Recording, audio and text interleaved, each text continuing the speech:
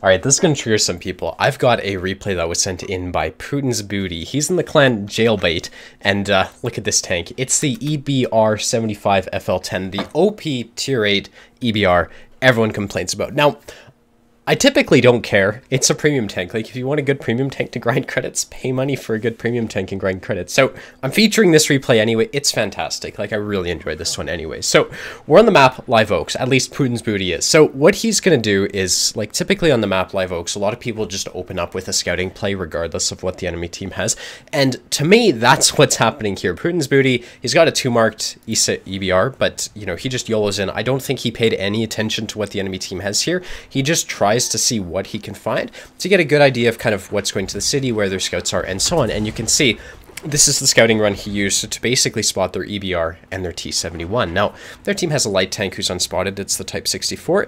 And what Putin's really notices is he's going to, because the lights have fallen back, he's actually going to take this bush right here. I think this is a very impulsive play. I would never do it myself because there could be a light tank. Like, this is a very high risk, low reward, in my opinion. I don't think it's the best of plays, but he has a great game. And you can see, uh, well, an EBR YOLOs him, and that's kind of why it's a risky play. So EBR is YOLOing him right here. The guy's not even aiming aiming. Like, Putin got very lucky not to get hit right here. The EBR lost half his hit points, and he's going to re-engage this EBR, which is very exciting. Um, I would never do it. I think it's very aggressive. All right, so he decides not to commit against the EBR. I think this is really smart, but you'll see how he plays in the upcoming seconds here. I think he's like when on the aggression scale, this guy is like 100%. So he sees the EBR, and at this point, he's kind of realizing there's no one going to the city on his team, or at least he should have. He should have noticed. He's got no heavies coming to his team. He's got a KV85 camping back here, a Tiger P back here, no one in the city, and we don't know what they have that's in the city here. And so Putin just sees no one, uh, enemy wise, and decides to YOLO in. At least that's how he must be seeing it. He gets lit, and despite being lit, he decides to push in anyways. I guess he's spotting for his two TDs in the back. That's his strat. And uh, he's able to get all the way up to here where he finds a T71. So he trades with the T71. He's got HE loaded, so he's going to have the advantage. I think this is an okay play. He loses his radio operator, and he also loses 280 HP for this play, but it does kill a T71, so there's an argument to be made for it. Now, inevitably, when you push into E2, you find a bunch of TDs. ISU 122 shoots at him, luckily misses. He's going to need that HP for the latter half of the game, because, you know, his team is obviously not the greatest. They're all on the zero line. Now, with the ISU spotted, he decides to fall back. I think that's a really smart play, and really, at this point, I would hope he's noticing that no one in his team is in the city, and no one on their team is in the city. And so what he's doing is he's starting to work his way back to the zero line, because that's where the fight is happening, and ultimately, I think that's a great idea. Now, if you look at what's happening with his team right here, the enemy team has quite literally seven tanks pushing into their base, and they probably have an IS, to, IS as well. And here, you know, his whole team is camping back here, trying to deal with the fact that the enemy team is rushing down the zero line. They're currently down three freaking tanks, and they're about to lose this Type 58 here. So he pulls into this position. It's a great idea. He's going to get shots, and most people would say, hey, you're a light tank. You should go scout. I think in this context, it's really not that smart. He's able to get shots for free on people who are already spotted. Spotting these people when he's actually got a Stura Mill, who's in a more aggressive bush, and he's in a good bush, it's not really worth the risk. So, puts a shot into the 3485M. He doesn't pick up the kill, but the guy's tracked, so he will die eventually. And then there's an EBR to his right, who's eventually going to start to spot his teammates here. I don't know if he notices that yet. He's focusing the 3045.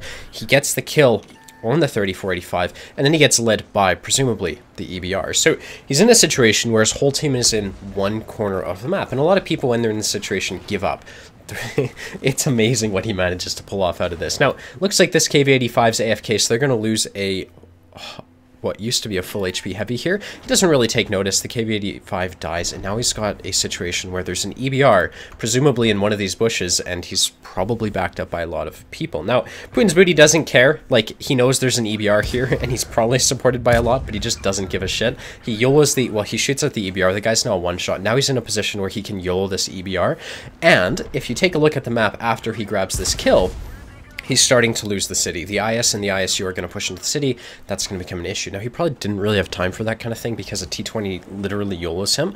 And, uh, well, he's just going to continue this drive-by expecting no one to hit him. He got lucky here. The T-20 shoots, and it looks like the T-20 really should have hit that shot. But there you go. And now he's got the T-20 auto and, and this guy is just chasing him down. So, T-20 pops up on this ridge. That's almost always going to result in him getting hit by TDs. In this instance, the UDES back here doesn't have shots, and so that's why the T-20 is still alive and he's not dead. Now, if you look at the map, They've got a 5916 who snuck into the enemy's base. Watch the map periodically because it's hilarious to see what this guy gets to. Now, T20 put he goes for the kill on the T20, he manages it, and then there's a full HP Cromwell that appears. He spent a lot of HP in this situation, and just gonna be honest, it's very lucky that this Cromwell was stock because, you know, if the Cromwell wasn't stock, he would have hit from for about 50 HP more. Now, with this full HP Cromwell here, and a UDES who's literally got a building between himself and the Cromwell, Putin doesn't have a lot of cover. So I, I don't know if he realized realizes that or just decides not to engage the Cromwell. Ultimately, I think being aggressive in this situation was not a good idea, and coming back to this position was a perfect play. This is the best thing he could have done, um, and he's actually able to support this UDES right here. Now, it's very un it's unfortunate the UDES dies, really. That guy could be very useful carrying the game, but the UDES is very low HP. He gets killed by the IS, and now Putin has to defend all by himself against an ISU and an IS. Now, how he manages to do this oh my god, it's incredible. There's the KV2. He's not going to grab the kill on the KV2, but these guys are going to start to push in, and Putin is going to spot them. Now, I think the lack of view range on this tank makes the ISU feel safer about pushing in. And you can see because the ISU only gets spotted when he's in the middle of the open, he doesn't have Sixth Sense to alert him to get safe or anything like that. And I think that plays to Putin's advantage right here because he only spots the ISU in the open, and then he's going to try to pick up the kill. He bounces an easy shot there, but he gets the other one in. He keeps these guys lit. I think he should focus on the ISU in this situation. There are people to his left like a Comet and stuff, but really the pressing issue is this ISU. He kills the ISU, and now there's an IS in front of him. Now, the way he's using these bushes are perfect. If you don't know how to use bushes, just you see how he's making them opaque before shooting the IS. That's why he's able to farm these players here. So he gets a shot into the IS, and the IS dips over the trench. And when I was watching this replay the first time, I was like, oh my god, I hope he pushes in. That would be fantastic. And he does. He makes a super smart play, and the second the IS isn't going to spot him, he just YOLOs the IS, and that's going to open up the whole map for him. So he gets the kill on the IS. Cromwell is there too. He's lucky. The Cromwell bounces him and he hits him on the move. It happens though. And uh, now he's in a situation where he's got basically, if you look at the 5916 all the way in K1, poor guy's looking for the M44. But regardless, he's now won the entire western side of the map. And so if you look at the enemy team, they like they've got a Comet, a KV2, and an SU-100Y who are basically in a bull right here, and he's able to shoot at this SU. Now I don't understand why the SU is backing off. Like to me, it makes no sense. But what's amazing is that Putin's Booty was able to take this ridge right here, and he's got shots into this SU-100Y. Now, focusing the SU-100Y is the right play right here. He didn't get spotted the first time when shooting at that guy, but he did get spotted the second time. And now, watch this shot. Oh my god. There's a Super Hellcat yoling up this side of the map who's not necessarily a one-shot to the Progetto, and he lands that shot with heat on a full HP, uh, like a full-speed Super Hellcat. Incredible. That makes the Super Hellcat a one-shot for the Progetto, and it's going to, like, that's actually really important. Now, KV2's in the open when he returns to this position. He misses the shot, not his fault. That was just RNG right there. He manages to get the kill, and he doesn't get lit when killing the KV2. Now, knowing how this guy plays, he would probably just YOLO this SU-100Y if he doesn't get the kill. I forget what happens here. Give me a sec. okay, so the SU-100Y dies, and then he decides to YOLO. Probably a bit more intelligent of a play. Um, but I still think YOLOing is very aggressive. Regardless, he does it, and he's got HE loaded for the Comet right here. Now, the Comet gets spotted to the left. I have no idea how the Comet got here. There, I doubt Putin does either, and then he's put into a crossfire because an SU is spotted as well. So, Comet shoots him. I think this play's really dumb. I'm just gonna be honest.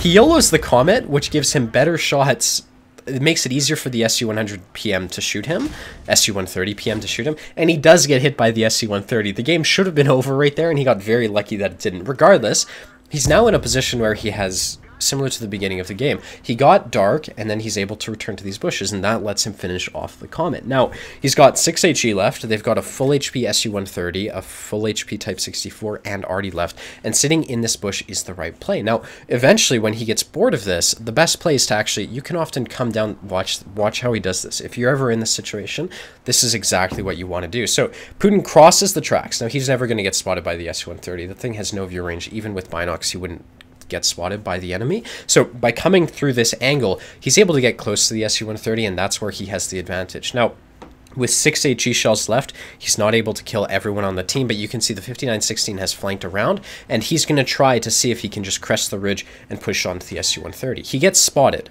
and I have no idea how he got spotted. I doubt he does either. Probably the SU-130 was in a bush, and he made a very good decision not to YOLO across right there because he's a one-shot to the SU-130.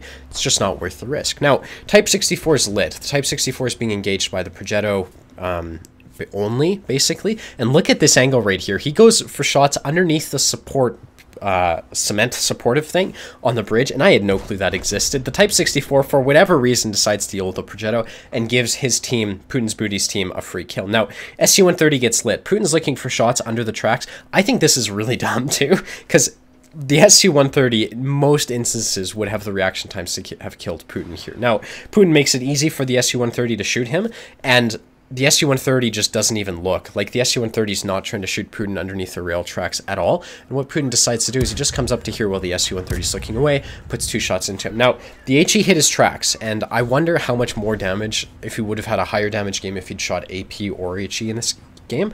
Be an interesting experiment to figure out. But it's only Artie left. He shoots the HE at Artie, does 77 damage, leaves the guy on 5 HP, and then rams him for the kill.